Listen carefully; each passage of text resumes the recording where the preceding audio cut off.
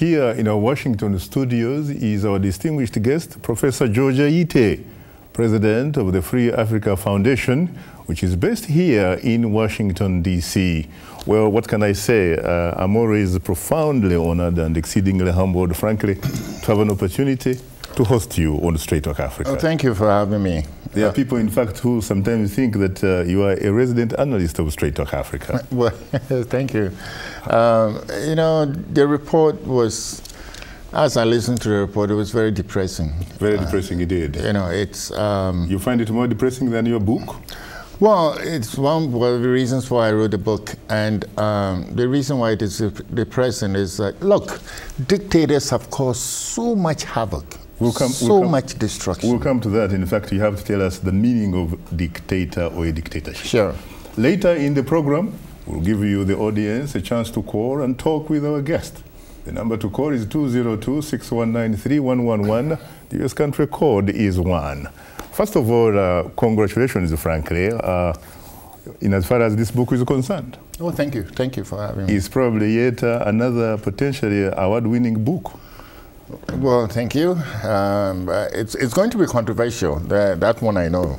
The, you know, some of the uh, uh, some of the critics of your book, like especially the Chicago Tribune, says that uh, Ayittey sees Africa honestly. Well, thank you. Yes. Do you, in fact, see it honestly? Because there are, frankly, a lot of people who say that you see it superficially, that you don't physically live there, for example, and yet uh, you seem to be in every corner, every nook of the continent, at least in terms of in your books? Well, I, I, do a lot of you know travel in Africa. At the same time, uh, there are certain things on the ground uh, that I listen to. Mm -hmm. I speak to a lot of Africans, and and and sometimes you see the thing is. Um, you know, the post-colonial, our post-colonial record is not very good, uh, especially when you look at economically -huh. and politically, and one has to be honest about it. The I Christian Science Monitor itself here is saying that uh, as a black African, Ayittey brings a personal, passionate commitment to his analysis. Mm. True? Well, it is true because you see, look, I am, you know, I'm very angry at the condition of Africa. And Africa should not be in such a, you know, a, a mess. You definitely are. Uh, you definitely are, especially according to the New York Times book review, which says robust and provocative. Ayittey takes no prisoners. Well, you, you, we, you, you have to face the facts. We have to face our problems. And we have to come to grips with our own problems and solve them, create our own solutions. What about the village voice which says Ayittey is unpredictable and provocative?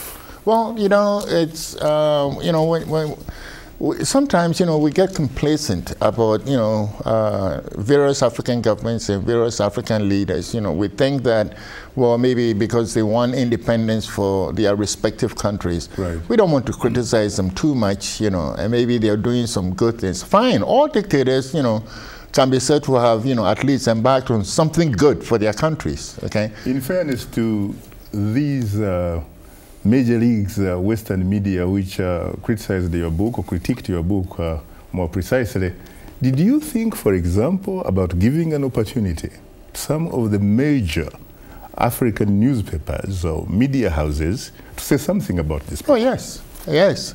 The African Books Club has, you know, given the book a very, very good review. Mm -hmm. And as an African uh, scholar, professor, two African professors have given the book very, very good reviews. For example? So, well, there is a professor called Peter Van, Van Kuta. Mm -hmm. You mm-hmm. know, he's in, uh, if you go to Amazon.com, you know, you see his review there. And the African Book Club has also posted their review of the book on their website. You talk about... that. and I've also been on the Ethiopian, you know, satellite television. I saw you. Uh, yes. I saw you on the Ethiopian uh, satellite uh, channel. But I was thinking more importantly, frankly, about newspapers radio, television stations, uh, professors on the African continent? It takes time. This book was released just, you know, less than a month ago. I hear you. Okay, so it takes time before it gets there. You talk about uh, defeating dictators. Yes.